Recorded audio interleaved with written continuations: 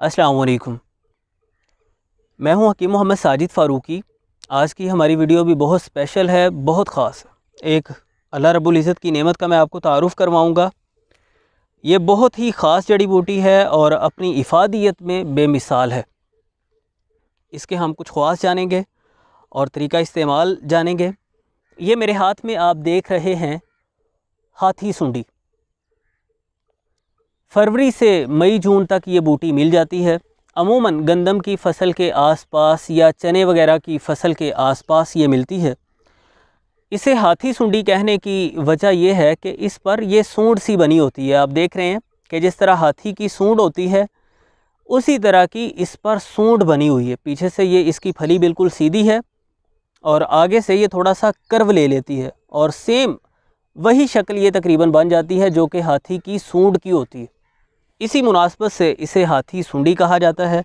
हाथी सुंडी के नाम से इसे अमूमन लोग जानते हैं। इसके दीगर ज़बानों में नाम मैं आपको स्क्रीन पर दिखा रहा हूँ। इसका मिजाज गर्म खुश्क है। हाथी सुंडी के वैसे तो बहुत सारे फ़वाद हैं और मैं इन आपको थोड़ा सा तारुफ़ करवाऊँगा, इसके ख्वास से आगाह करूँगा। लेकिन सबसे पहले इसका अहम तरीन फ़ायदा, जो कि हमारे तजर्बा का भी हिस्सा है मैंने भी अल्हम्दुलिल्लाह मरीज़ों पर उसे ट्राई किया। और वाली साहब तो खैर एक लंबे अरसे से वो इस्तेमाल करवाते आ रहे हैं और उसका सौ फ़ीसद रिज़ल्ट। हमेशा हमने उसे कारगर पाया। हर वो मरीज़ जो कि मायूस हो चुका था और कोई भी तदबीर, कोई भी रेमेडी उस पर असरअंदाज नहीं हो रही थी, वो इससे ठीक हुआ है, अल्हम्दुलिल्लाह।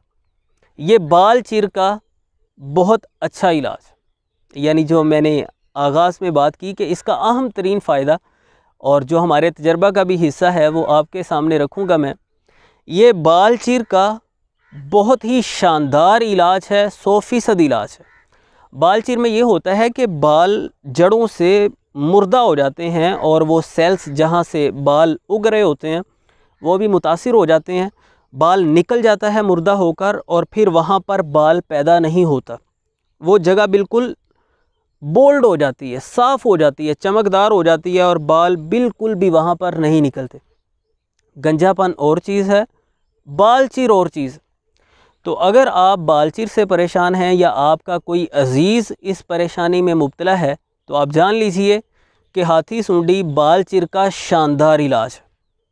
बिल्कुल सिंपल तरीक़ाकार है इसके इस्तेमाल का। आपको इसे पीस कर, गोट कर निचोड़ कर इसका पानी निकाल लेना। ये पानी आप किसी छोटी सी बोतल में महफूज कर लें। दो तीन माह तक ये काबिल इस्तेमाल रहेगा।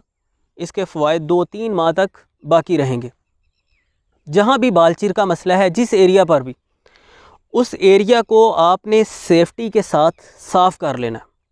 वहाँ पर अगरचे बाल नहीं भी हैं, आप वहाँ पर सेफ्टी लगाएँगे। इससे दौरान खून भी उस उज़व की तरफ़, उस एरिया की तरफ़ मुतवजह होगा। और मसामात भी थोड़ा सा खुल जाएँगे और जल्द साफ़ भी हो जाएगी बिल्कुल। सेफ्टी लगाने के बाद आपको वहाँ पर ये पानी थोड़ा सा लगा देना। दूसरे दिन भी ऐसा ही कीजिए, थोड़ा सा पानी लगा दीजिए, उंगली के साथ या रुई के साथ आप लगा सकते हैं। तीसरे दिन भी वहाँ पर थोड़ा सा पानी लगा दीजिए। छः सात दिन आपको सिर्फ़ बाल चिर वाले मुकाम पर हाथी सुंडी का पानी लगाना है। इन उस सारी जगह पर नए सिरे से बाल पैदा हो जाएँगे, जो वहाँ से सेल्स मुर्दा भी हो चुके होंगे इन उनमें ज़िंदगी पैदा हो जाएगी। और जो मसामात सही तरीके से बालों को नशोनमा नहीं दे पा रहे थे इन वो बालों को प्रॉपर नशोनमा देंगे और वहाँ भरपूर बाल उगाएँगे। वो जगह पूरी तरह से भर जाएगी, वो दाढ़ी के किसी मुकाम पर हो या वो सर में किसी एरिया पर हो। ये ख्याल रखिए कि इसका पानी काफ़ी तेज़ होता है। अगर आप देखें कि वो जगह थोड़ी उबर गई, वहाँ थोड़ा सा ज़ख़म बन गया तो आपको वक्ती तौर पर पानी लगाना रोक देना है और वहाँ पर सरसों का तेल लगाना है थोड़ा सा। जब वो जल्द नॉर्मल हो जाए, यानी वो ज़ख़म की जो सूरत बनी हुई थी, वो मुंतमिल हो जाए, जल्द नॉर्मल हो जाए, आपको फिर से ये पानी लगाना शुरू कर देना है। इन छः सात दिन में ये बाल चिरका पूरी तरह से ख़ात्मा कर देगी और दोबारा बालचीर का प्रॉब्लम भी नहीं बनेगा। तो ये तो वो बात थी जो हमारे तजर्बा का भी हिस्सा है। अब इसके दीगर फ़वाद की तरफ़ हम आते हैं। गर्म खुश्क मिजाज है इसका और ये बहुत अच्छी मुसफ़ी खून है। जल्द पर बनी हुई स्याहियाँ और निशानात वगैरह इससे ख़त्म हो जाते हैं। इसका पानी वहाँ पर लगाया जा सकता है। कोई ज़ख़म अगर नहीं पक रहा तो इसके पत्तों को कूट कर उनको जमाद की शक्ल देकर यानी पेस्ट बन जाएगा जब इन्हें कूटा जाएगा। वो उस फोड़े वगैरह पर बाँध दीजिए, बड़ी तेज़ी के साथ ये ज़ख़म को पका देगी। उसमें से जो फजलात हैं वो ख़ारिज हो जाएँगे और वो ज़ख़म इन आपकी जान छोड़ देगा। ख़ारिश वगैरह की सूरत में इसके पत्ते आप थोड़े से तेल में जला लीजिए। मिसाल के तौर पर अगर आपके पास एक पाव तेल है तो उसमें 50-60 ग्राम पत्ते आप डालकर उन्हें जला लीजिए। जब पत्ते जल जाएँ, उस तेल को नथार लें। सरसों का तेल हो सकता है। सरसों का तेल ही बल्कि ज़्यादा अच्छा है। इस तेल को नथार लें। ये आपके पास ख़ारिश का बेहतरीन मरहम बन गया।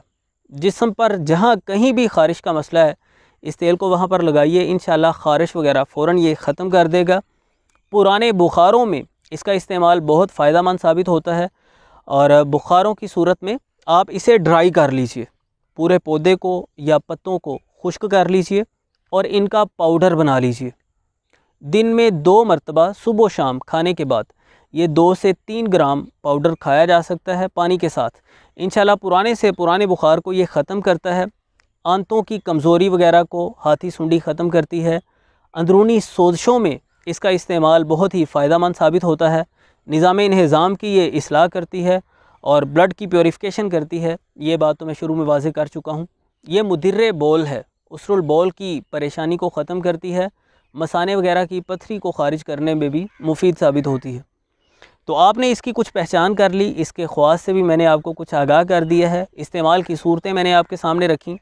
इसका जो शांदा पिया जा सकता है खेसांदा पिया जा सकता है, जो शांदा कहते हैं, जड़ी बूटियों को पानी में डालकर उबालना।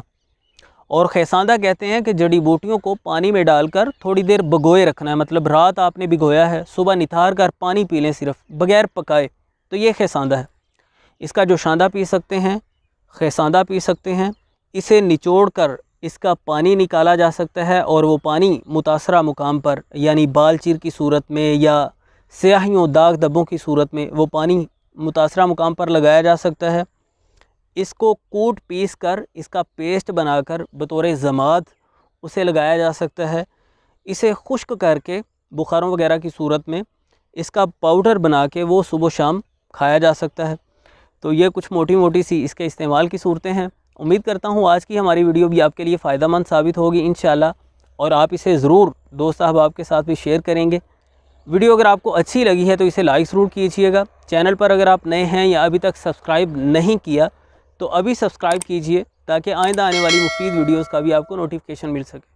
मिलते हैं नेक्स्ट वीडियो में। अल्लाह हाफिज़।